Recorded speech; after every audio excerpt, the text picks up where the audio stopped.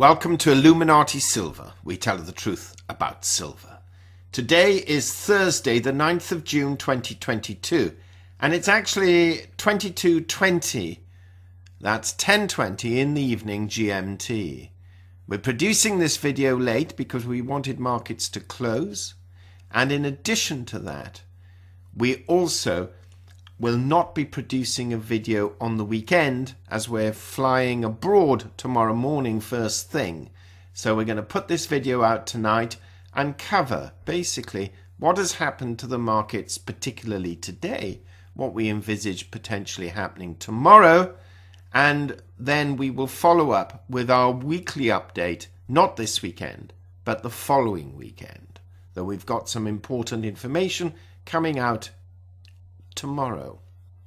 So let's take a look. Gold prices today are down $5, falling below the support level of 1848, and it's been as high as 1855 and as low as 1840. Now, for those who listen to our weekly update, which we've put a link below in case you haven't, gold ended last week, that's Friday, at 1851. So it's just some $3 below what it closed on Friday. And you can see it's been lower, then it's come back up, and it, it's oscillating around this 1850 level. If we take a look at silver, we can see that silver is down 30 cents today at $21.75. And again, it's been lower, as low as, well, below 21.60. In fact, 21.57 is the lowest it's been today, and as high as 22.16. Now, to put this in perspective, silver started the week, or if you like, ended last week at 21.96, just below $22. It's been as high as 22.52 and as low as 21.57. Now, part of the reason for this has been rising yields and a much stronger dollar index. Again, for those who watched our weekly update, this had fallen back to just over 101. It's now rising again and is standing at 103.31. The highest it's been in the last 12 months has been 105. So it's not that far away. What's happened to equity markets today? Well, we can see that they've fallen quite, well, quite substantially at around 2%. So we've got the Dow Jones down 1.9%, the S&P down 2.3, but the Nasdaq taking the biggest hit, down 2.75.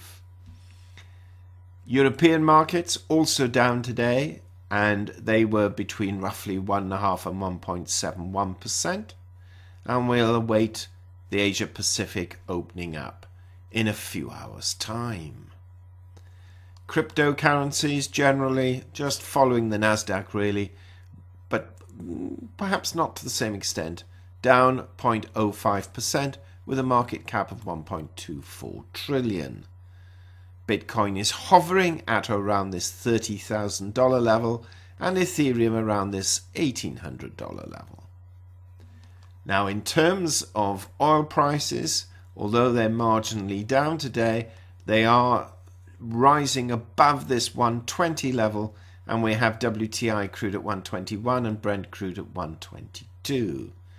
So, what's been happening in terms of economic data? Well, we can see. On Monday, there was nothing scheduled. On Tuesday, consumer credit came in at a higher figure for April than envisaged 38 billion is the actual figure. Envisaged was 35, but that is uh, still lower than what it was in March at 47 billion. Wholesale inventories were revision were at 2.2% compared with 1.9 expectation. This is perhaps a more pertinent figure. The initial jobless claims actually up higher than anticipated at 229,000, with the continuing jobless claims unchanged. Now, tomorrow we have the key data, but this jobless figure was a little bit of a surprise. It, it's quite a few thousand more than anticipated. However, that alone is not going to have anything like the reasonable impact that tomorrow's consumer price index could indeed have. Now, what we don't know, of course, is what that figure will be.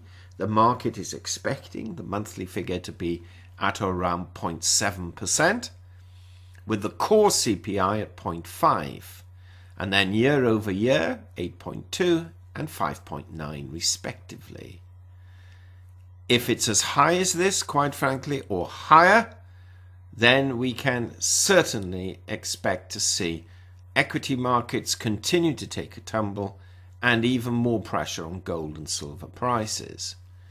If they are considerably lower, we could actually see precious metal prices rise a little. We suspect these figures are not going to be significantly different from what the market is expecting. And if anything, to some degree, they might be slightly higher, which is part of the reason why we've actually seen the dollar rise today and equity markets fall because of this expectation. Whether the markets are right remain to be seen, but we have been relatively bearish precious metals for this coming month, relatively bullish for the US dollar simply because we are almost certain that the FOMC, when it next meets, are going to raise interest rates by half a percent this month and again in July. And looking forward to next week, there's an awful lot of data and, of course, the interest rate decision, which is why it's a shame we won't be doing our weekly update. So we'll cover a little bit of this now and point out that on Monday we have the Fed, New York Fed one year and three year inflation expectations. On Tuesday, producer price index for May. And then this is the big day retail sales and the FOMC statement.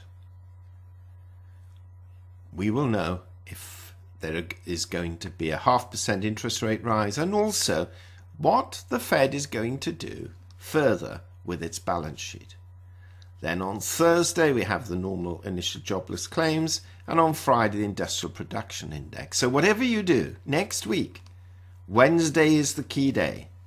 So, the markets will be moving in anticipation, and tomorrow's consumer price index will, in our view, have the major impact as to what is going to be anticipated next week.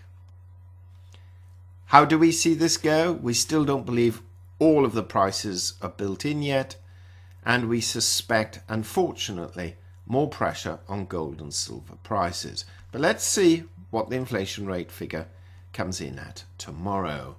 That will be a major determinant. Okay, that's it for now. We're sorry there isn't going to be an update on the weekend but we're going to a country where the internet is extremely poor and we'll be using iPads rather than laptops and it makes it difficult for me because of the software that I'm using to actually get something up.